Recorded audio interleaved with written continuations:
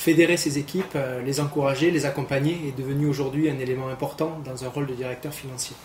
L'année dernière, lors des universités d'été de la DFCG, nous avions euh, lancé une grande étude pour justement travailler sur les compétences et les métiers des directeurs financiers. Nous avions, par effet de contraste, comparé les compétences d'un directeur financier d'il y a 20 ans avec celles d'un directeur financier d'aujourd'hui. Directeur financier d'aujourd'hui doit être un super manager, un super manager au niveau hiérarchique tout d'abord, car il doit encadrer des équipes pluridisciplinaires euh, composées aussi bien de secrétariat général, d'ADV, de logistique, mais également effectivement de comptabilité, euh, trésorerie ou autres fonctions financières et comptables. Un directeur euh, financier super manager doit être aussi un manager au niveau fonctionnel, puisqu'il doit absolument apporter le support aux opérationnels dans leur activité au quotidien et également super manager sur un point de vue des réseaux,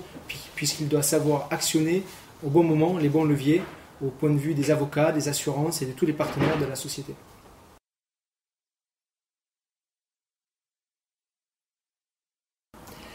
Assister à l'atelier euh, des universités d'été est très riche, surtout pour l'échange.